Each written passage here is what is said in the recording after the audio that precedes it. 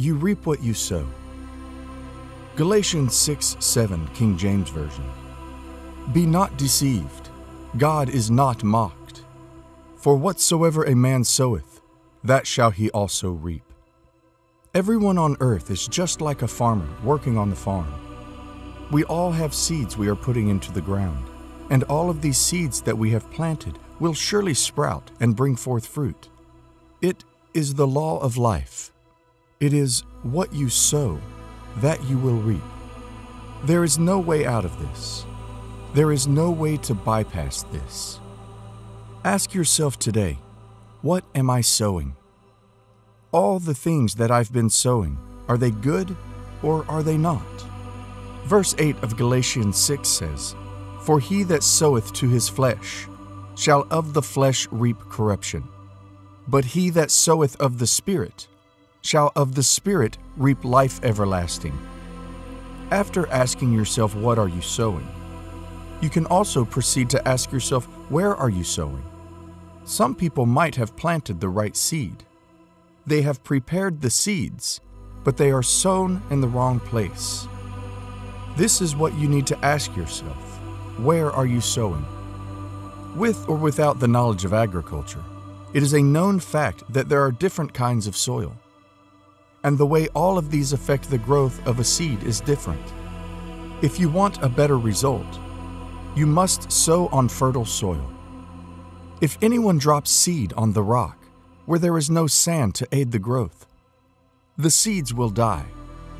If seeds are also planted on the pathways, when they manage to grow, people will mash them till they die.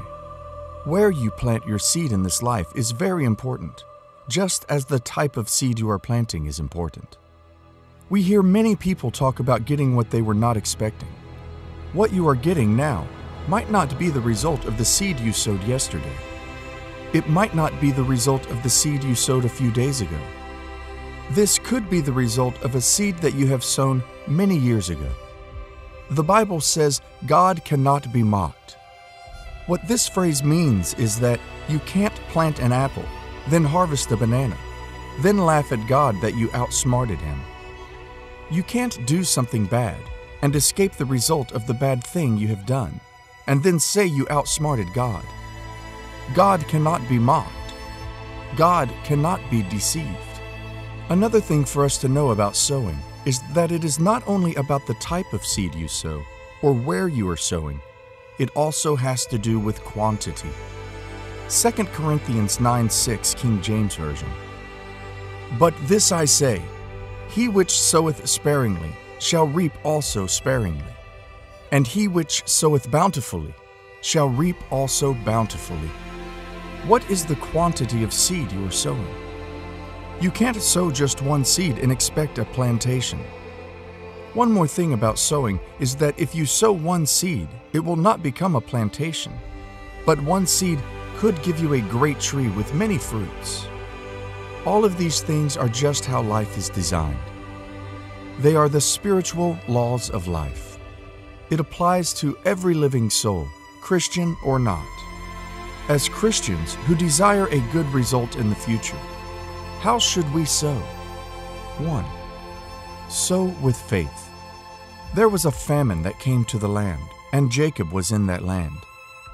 The best option for the people was to run away to the land of Egypt.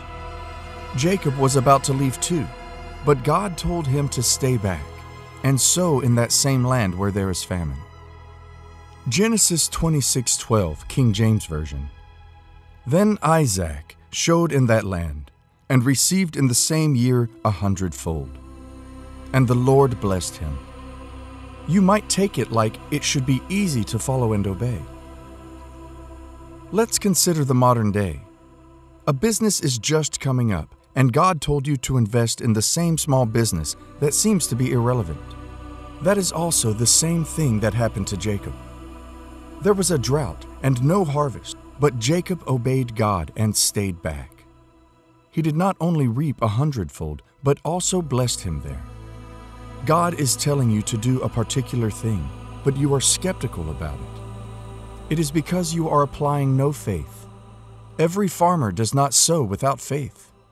When they are planting, they believed the seed will grow to give multiple folds. Hebrews 11:1 King James Version. Now faith is the substance of things hoped for, the evidence of things not seen. Has God been telling you to start that business? You have the idea, but you are letting it die away. You are not planting it because you are afraid that it might not be great. Look at the mustard seed. It is very small compared to other seeds, but when it is planted, it becomes a tree. Mark 4 31 and 32 King James Version. It is like a grain of mustard seed, which, when it is sown in the earth, is less than all the seeds that be in the earth. But when it is sown, it groweth up, and become greater than all herbs, and shooteth out great branches, so that the fowls of the air may lodge under the shadow of it. In case you don't know, a seed can die. The idea that you have in you that God is telling you to bring to reality can die if you keep it for too long without planting it. If Jacob did not listen to God and refused to plant the seeds he has with him, they would have been rotten and nothing would be available to plant anymore. People are walking up and down the street with ideas that they are not putting to reality. They have allowed the ideas to die in them. You can sit back and be thinking of how you became great because you have an idea in you. Without sowing it, it will die. Faith requires action. Take action. Move into action. Greatness doesn't come through ideas in your mind. It comes through ideas that are put into reality. You can't deceive God by saying He should bless based on the ideas you have alone without working in them. It is not possible. Take a step of faith today and sow. How long are you going to sit in the corner scared of the risks of life? Everything in life involves risk. Life is risky. Getting married is risky. Falling in love is risky. Starting a business is risky. Driving your car is risky. Life in general is risky. Nothing in life comes without a risk. Take action. You need to sow. 2. Know what you are sowing. This is important. You can sow with faith, but do not even know what you are sowing. Do you have an idea of what that seed can grow to become? It is like seeing a seed and then without proper research and knowledge of the seed, you plant it. When it starts bringing fruits, they are poisonous, but you don't know. You take from the fruit and it causes you harm. It is what you sow that you will reap. If you sow poison, that is what you will reap. You must know what you are sowing. To have faith doesn't mean you should act foolishly. It doesn't mean you should choose to be selectively blind to what you are sowing. It doesn't mean you should not have the understanding of what you are sowing. Taking a risk doesn't mean you shouldn't know what you are getting involved in. Do the research. What are you sowing in your family or marriage?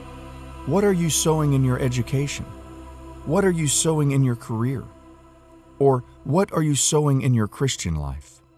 When others are sowing hatred, you can sow love.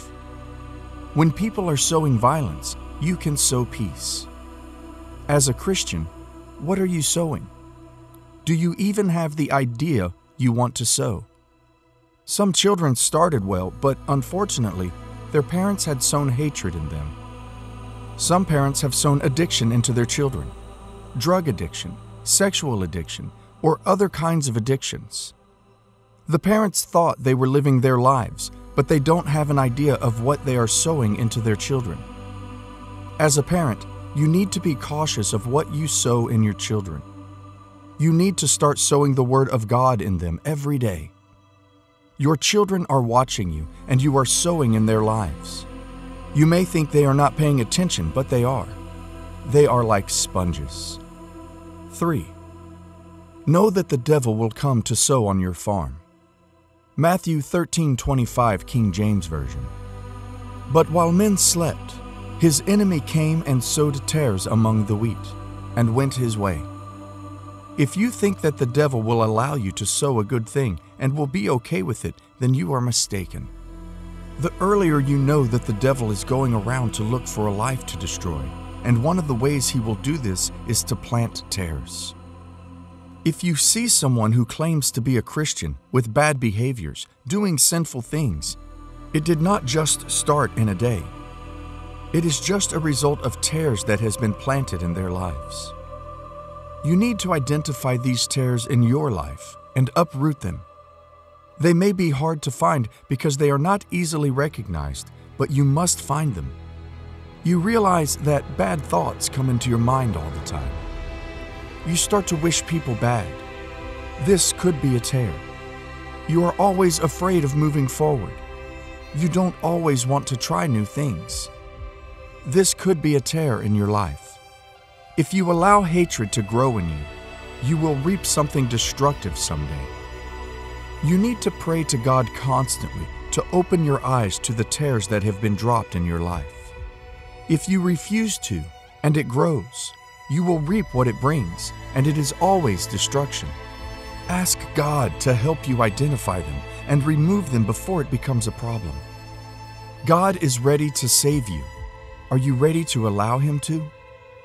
Do you know the ultimate seed that you need to sow in your life that will give you success? make you great, give you prosperity, purify you, and give you wisdom. It is the Word of God. Are you sowing that in your life? This life is not about the material things alone. Don't focus on sowing material things all the time. Look at the Word of God. It is a seed that will also grow in you. The Word of God helps you not only in the physical, but spiritual too. If you are placing your focus on the flesh too much, you will realize that you will be sowing all you have in flesh. And the Bible tells us the importance of where we sow. The flesh brings corruption, while the Spirit brings life. It is your choice now to choose whether you want to sow in something that will not last or something that will live forever. To sow in spirit means to sow in Christ. It means you are putting everything you want to do in Jesus Christ. If you are sowing in flesh, it means you are just doing it with your power without inviting Christ to it. You need to sow in Christ because we need Him to bear fruit.